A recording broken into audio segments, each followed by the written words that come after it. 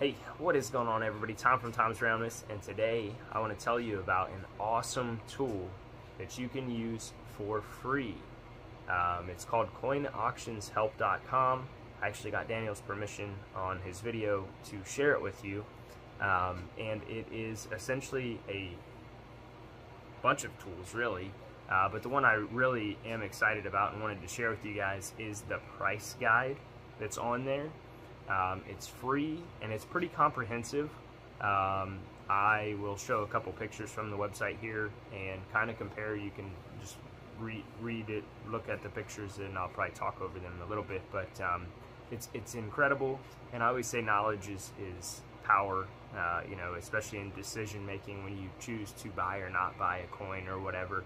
Um, and this is, like I said, again, a free tool that you can literally access if you have um, your phone so it's pretty handy. It's very user friendly and uh, I just wanted to get this video out and share it with you all so that you have it at your disposal when you're out there uh, at the coin store or you're out there at the, the trade mall or whatever and you're looking at a coin thinking about buying it and you're not sure what to spend on it.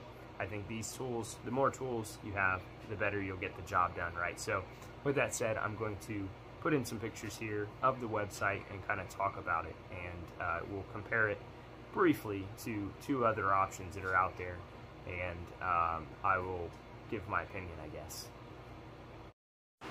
Alright, so here we are at coinauctionshelp.com. I selected the coin collecting apps. I'll put a link so you can come directly to this page in the description below, but you can see here there's a lot of advertisements. I think that's a way uh, for Daniel to monetize it, which keeps it free for you uh, but if you click into the links, they're not affiliated, they're just paid advertising, so I would recommend not doing that. Um, I'm going to now click the coin values uh, home page here, and this is that page. So you see you have half cents all the way up to large dollars, and we're going to click large dollars. You got your silver dollars here, you got your Morgans, your Peace, your Eisenhower, so on and so forth, flowing hair, Draped Bust, all that. Um, I then click the Morgan just to give you an example what it looks like when you open it up. And now we're just going to quickly compare it to two other options you have. Here's Greysheet. Obviously, if you don't pay for it, this is what you get. Not as detailed. You can pay for it. It's like $9 to $30 a month. And then here's what most of us go off of. And you can see these prices here quite a bit higher or inflated. That's because it's VF. All right, so what I was saying there is it's the red book starts off for Morgan dollars at VF20 and most of our collections are probably below that. And so Daniels is a little bit more comprehensive in that it goes down to VG8 so it gives you a wider range. So you know your your more common circulated Morgans are going to fall into that lower category. So you definitely don't want to pay $55 for them if they're only worth 30 or 35 or whatever the case may be. But again I think it's very comprehensive and it's definitely something that I'll be using going forward because, like I said about Greysheet, Greysheet is the gold standard, I think, for most people um, out there, especially coin dealers. They use it because it's a value adder to them. Um, you know, they can get a good feel on the market and so on and so forth. But for the rest of us that are just collectors, uh, to pay for Greysheet may be a barrier for you. Um, I think I had a free trial on Greysheet, and I will say it is very comprehensive and it does really provide a lot more information um, than you know your your your red book. Uh, but again, the red book is super limited, and it is printed and not updated once it's printed. So it can it can change, and that's why it's not considered by a lot of people to be a good reference point.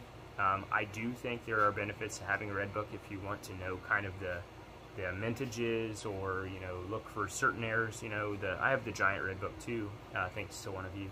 Um, but um, it's very limited in what it has. It has a lot of information, a ton, a ton of information. It's a great resource if you want to read it, kind of get familiarized with certain types and and uh, coins. Um, but it is dated and um, out of date. You know, the minute it's printed, and so uh, I'm not exactly sure how uh, Coin Auctions help uh, updates their stuff or what sourcing they pull from. But I did see that they're very comparable to um, like the selling prices of coins. And so I just wanted to, to let you guys know about that. If you're not a follower, I strongly suggest you go over to CoinHelpU and subscribe. Daniel is a wealth of knowledge in coin collecting, and he is a brick and mortar coin store as well as he has Portsmouth coinshop.com, I believe, and um, it's I've bought a lot of stuff from them. They have the uh, scratch and dent lots, which is really one of my favorite things to buy. Uh, back before I got a little bit more into kind of narrowing my scope as to what I really wanted to collect, but those are still fun and I still buy them. So um, if you just want to buy something fun and not know what you're going to get, definitely go check one of those lots out.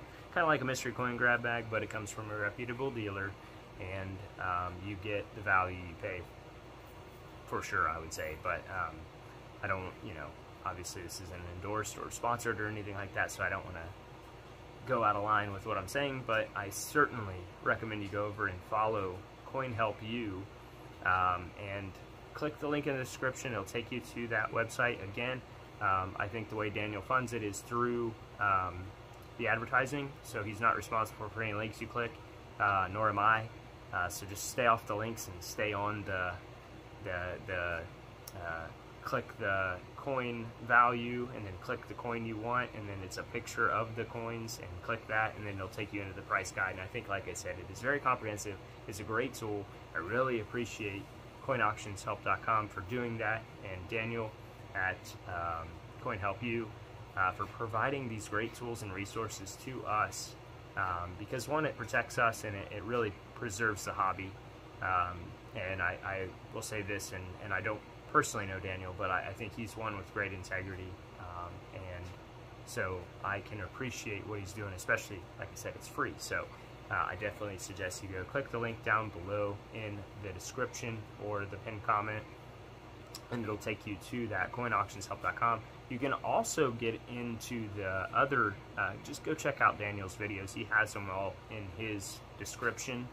Um, they have like one where you can submit pictures of your coin and they can kind of give you information and feedback on you know if it's a valuable coin or if it's a this or that error or whatever. And so again some great tools and resources by um, a really uh, booming channel in the community uh, and just a great wealth of knowledge. So thank you Daniel for, for all that you do for this uh, coin collecting hobby and all of us out here uh, general uh, regular collectors uh, but anyway, with that said, gold luck, God bless, and I will see you all in the next one.